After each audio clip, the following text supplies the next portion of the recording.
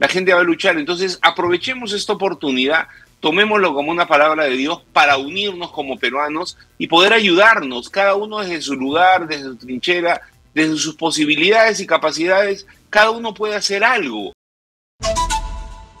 Y el problema es qué hacemos frente a esto, qué podemos hacer los ciudadanos y por eso es importante el mensaje que el padre Omar, el padre eh, que es parte de esta operación extraordinaria que es el hogar de las bienaventuranzas, eh, por eso es tan importante el mensaje que ha lanzado y por eso yo he querido convocarlo esta mañana. Omar, muy buenos días.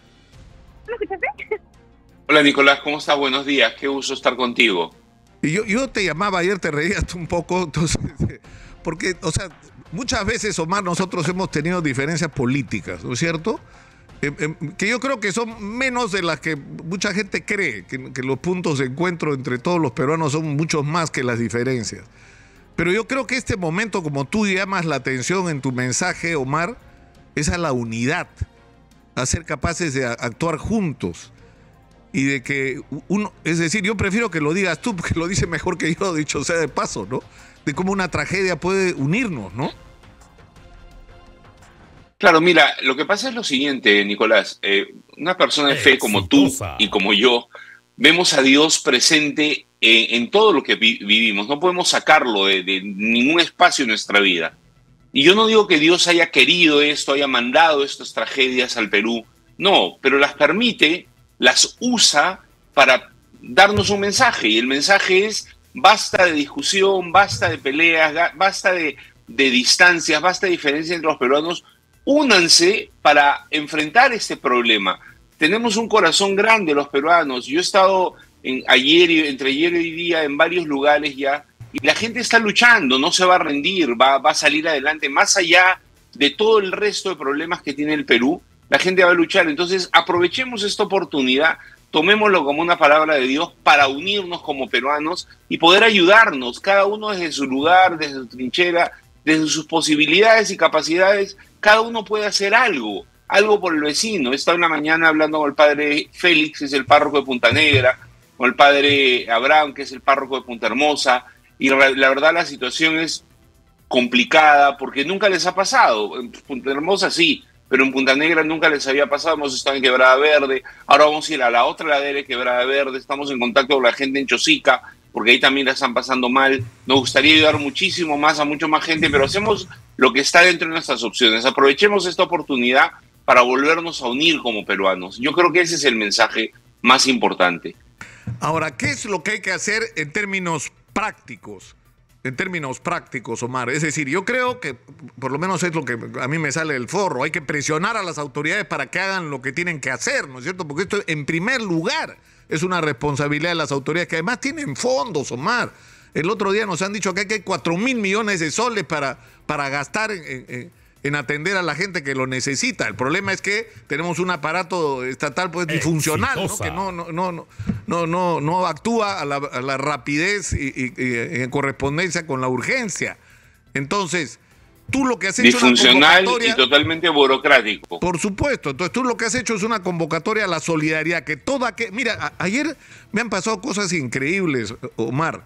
Es decir, eh, ayer estábamos transmitiendo la, la, tragedia en Caraballo y de repente empieza a llegar gente llevando ayuda porque habían visto el, el, el, el eh, ¿no? nuestra cobertura. Ayer en la noche me, me habla, es, me habla uno de los moteros que van mucho a la zona sur de, de Lima, tú sabes que eh, ahí en, en, en, ¿no es cierto? En Punta Negra, en San Bartolo hay un punto muy sí, grande sí. y la Asociación de Moteros es una organización, y, y no, no sé cuántos son, 10 mil, 15 mil, son Enorme. muchísimos. Bueno, me, me, me, dicen que con quién podían hablar porque quieren hacer un, un, gesto solidario y ayudar ellos a la gente con lo que puedan. Y yo le, te, seguro te van a llamar hoy día porque les di, me tomé la... la ya me llamaron. Ah, ya me bueno, llamaron. Qué bueno, Omar, ¿no? Pero a, ya me llamaron, a, a, sí. lo, a lo que Vamos voy, a coordinar Omar, es que para hay trabajar que, hay que tener, o sea, hay mucha gente que quiere ayudar y la pregunta es cómo lo puede hacer. O sea, danos un canal para la Mira, gente que quiere ayudar y que además hay una cosa que hay que decir, que puede tener la garantía de que va a llegar. Y eso yo te lo firmo, Omar. Así es. O sea, que cuando tú recibes ayuda, eso Gracias, le llega a la gente, no gracias. se pierde en el camino. Muchas gracias, de verdad. Sí, mira, eh, hay mucha gente que no confía en las instituciones de manera general.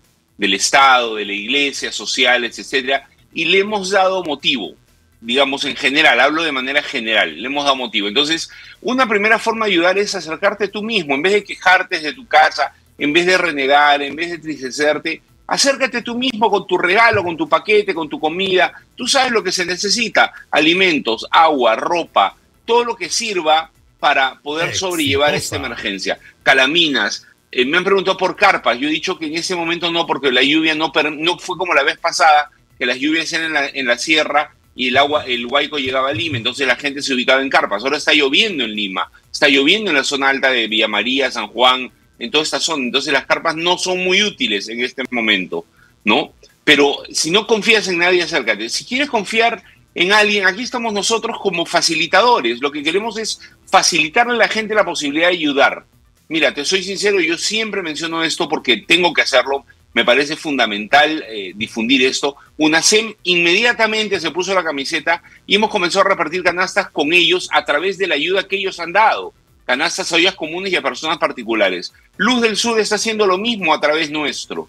Es decir, nosotros queremos facilitar, ser intermediarios. Tenemos un equipo de gente aquí voluntaria, generosísima, que se levanta a 6 de la mañana, se cuesta a 11 de la noche Anoche, ayer ha sido un día muy intenso porque nos pidieron eh, eh, recoger a un chico estadounidense que no habla castellano, que está hace un año vagando en las calles de Lima en una situación deplorable, además del reparto de las canastas, además de los niños perdidos en la zona de, Chosica, de esta zona, es decir, confíen en que podemos llevar la ayuda a donde se necesita. ¿Cómo? Dejando cosas en puntos de acopio.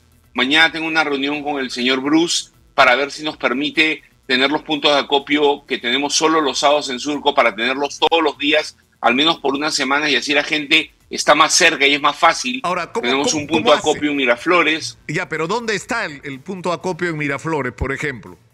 Mira, en Miraflores está en General Córdoba 556. Ahí hay un garaje, está en la misma calle, es bien fácil, está abierto de lunes a sábado de 9 de la mañana a 5 de la tarde. Y si el señor Brusque creo que va a permitir eh, nos autoriza a tener nuestras carpas de recolección diaria. Vamos a estar en la puerta del Parque de la Amistad y en el Parque La Floresta que queda junto al Colegio Santa María. Esos dos puntos vamos a usarlos. Estamos tratando de contactar a San Borja para que nos permitan lo mismo. Entonces nosotros recibimos las cosas y al final del día pasamos con el camión y recogemos todo, lo clasificamos y lo repartimos. ¿Qué se necesita? Todo lo que es primera necesidad, arroz, azúcar, aceite, leche, fideos, menestras, atún, avena, agua, mucha agua. Hay zonas que no tienen agua, que están muriendo de sed no tienen que tomar y todo lo que es ropa de cualquier tipo, porque la gente ha perdido todo, absolutamente todo. Hay mucha gente que ha perdido todo. Entonces, estamos nosotros como intermediarios, no vamos a parar como hicimos en la pandemia. Recibimos y repartimos, recibimos, clasificamos y repartimos. Eso es lo que hacemos. Eso es lo que hay que hacer, Omar, y te agradezco infinitamente una vez más.